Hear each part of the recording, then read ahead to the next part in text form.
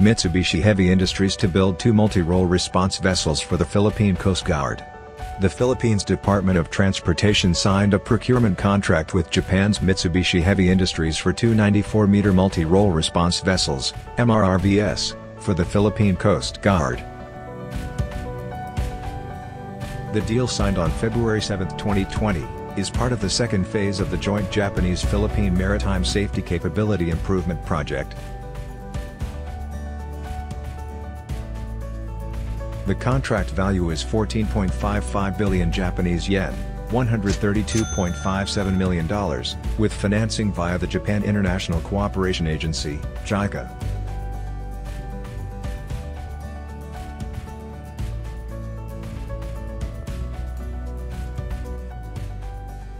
The MRRV patrol vessels will reportedly be based on the 96 meters Kunigami class, also known as Kunisaki class, patrol ships being built for the Japanese Coast Guard.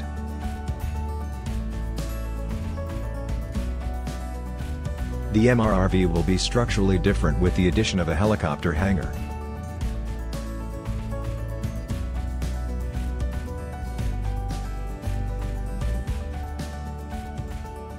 The date for the delivery of ships was initially set for June 2021.